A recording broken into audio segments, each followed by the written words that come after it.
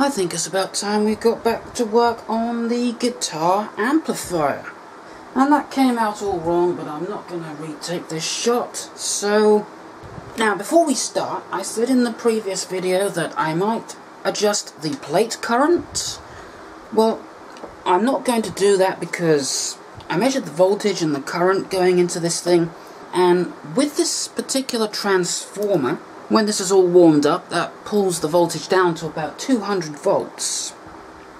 So, if I increase the plate current, that would only pull the vo um, voltage down even more, so I'm just going to leave it where it is. When it's idle, it's about 50 milliamps, about 55 milliamps. So, yeah, I'm just going to leave it right there. Although I have learned something, a very important lesson.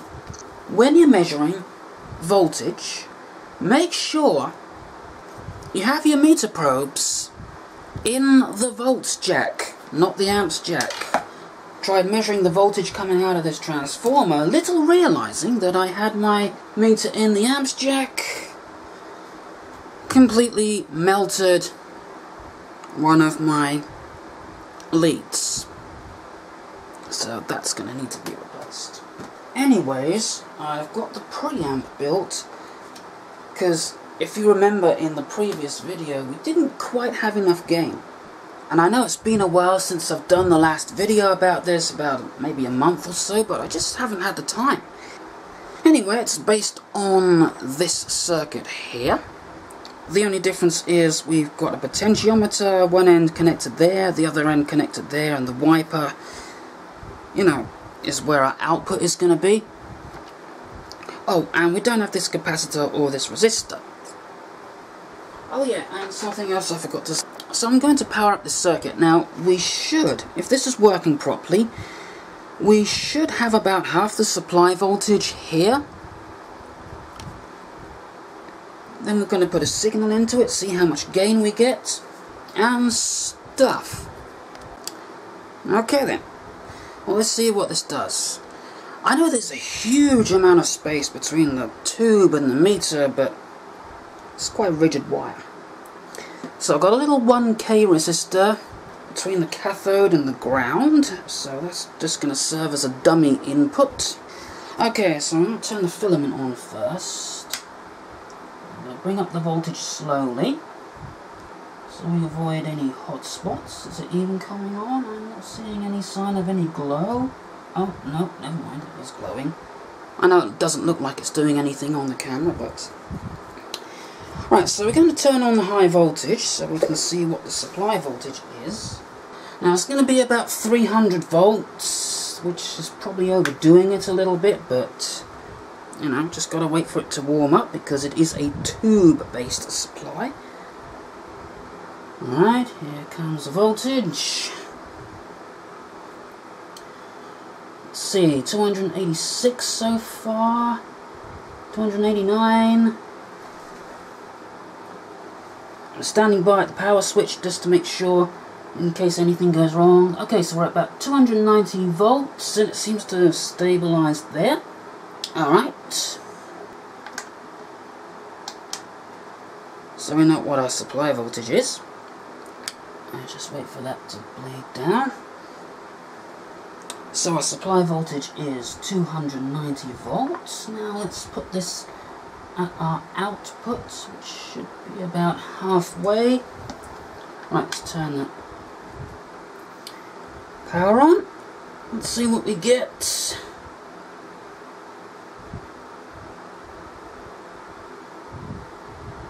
Okay, it seems to be petering out at about, yeah, I'd say that's about right. It's not far off. 149 volts. I think we had 290 volts. So that's close enough. I mean, I'll be about 145, I think, would be halfway, and we've got 149. So, yeah, I think that's, uh, I think we're pretty much all set. So the next thing to do, well, next thing to do is turn the power off so I don't shock myself on anything. The next thing to do is we'll apply a signal to this and see if we get any amplification.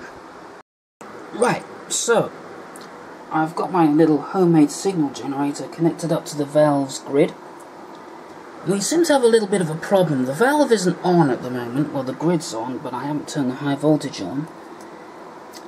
And sine wave isn't all that good, but I think that might be because we have just, you know, a little bit of voltage coming off the grid.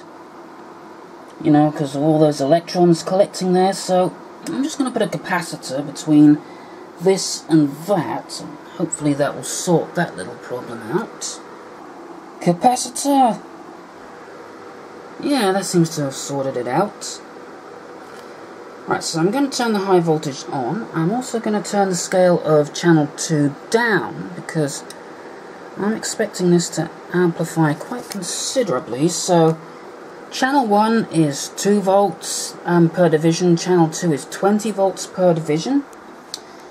Let's turn on the high voltage and see what happens. So, channel 2 should be coming up any second when the high voltage warms up. Oh, it should be. Is it on? Yeah, it is on. Oh, you know, it would really help if you actually connected your scope to the thing that you're trying to measure. I find things tend to make more sense that Okay, this is attempt number two. With the scope this time hooked up to the valve's output as well as what's going into the valve. High voltage is on. So let's see what we get. Ah, here it comes. Look at that. I'm not exactly sure how much amplification we've got, but let me see if we can move that a little better. So we've got about 20, 40, 60, 80, um, I have to count again, hang on. 20, 40, 60, 80, 100, hmm, almost 120 volts swing there, so that's pretty good. And we're only putting in about 2 volts peak to peak, so, yeah. Actually, 4 volts peak to peak.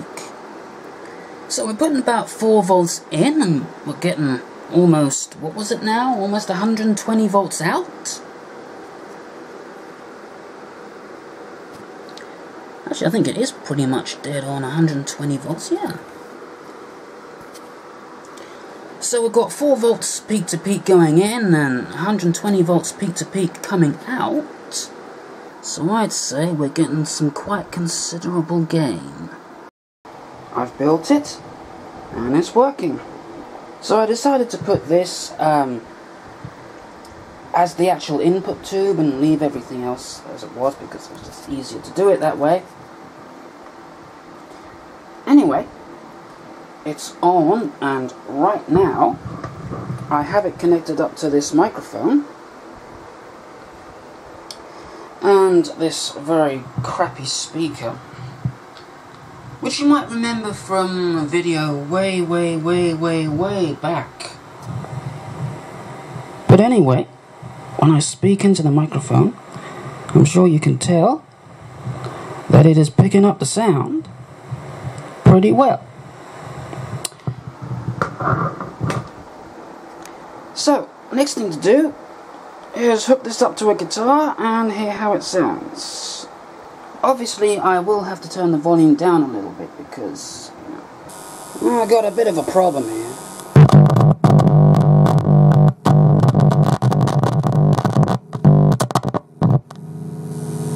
Got a very loose cable. Also, we need to ground a lot of things because just touching some of these parts makes it make weird noises.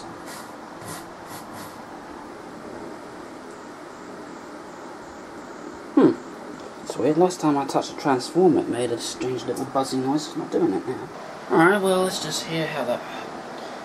Alright, well, let's just hear how that sounds. I've got the volume turned up about halfway. Let's just play a few chords here, see how that sounds. Should really be using a pick. I don't want it to be too loud at the moment.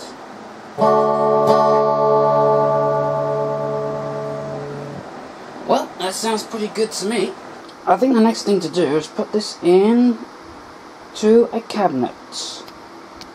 Well, I think I'm going to have to call it quits for now because I've come to a realization that there just is not enough room in this cabinet for all the stuff that I want to put in there. Thought it would be big enough. As soon as I tried to put this transformer in, pretty weirded because I made a great sounding amplifier and I don't have a cabinet to put it in. Okay, so here it is. This is the finished amplifier. Minus the power supply and the speaker, of course. You might have noticed that I've upped these resistors here, here, and here to 2.2 megohms just to lighten the load on the driver tube or valve or whatever you want to call it. And here's our extra stage of amplification. You might have noticed that there's no grid resistor or DC blocking capacitor because don't need them. The guitar's coil is gonna serve also as the grid resistor and since there's no DC coming off it, we don't need the capacitor either so that's quite happy like that. And yeah, there it is and I'm really tired now and I'm just gonna I don't know why, I must have had at least 18 hours of sleep and I'm still whacked out, so